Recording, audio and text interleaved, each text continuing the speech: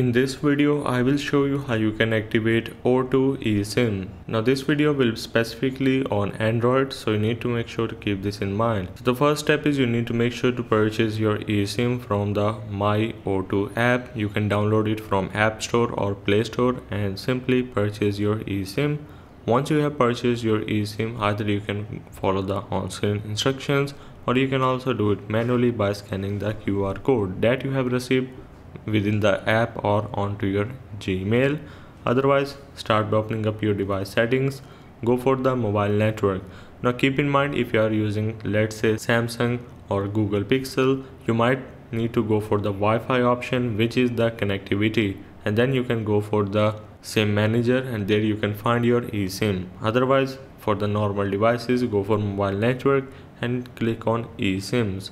Now make sure to click on add eSIM and then tap on next on the bottom right. And this is where you just need to scan the QR code if you have received from O2 eSIM. And once you have scanned the QR code, make sure to click on download and it might take few minutes to activate your eSIM. So make sure to do not close this window. Once the eSIM is successfully activated, you can then head over to your eSIMs again and as you can see O2 eSIM.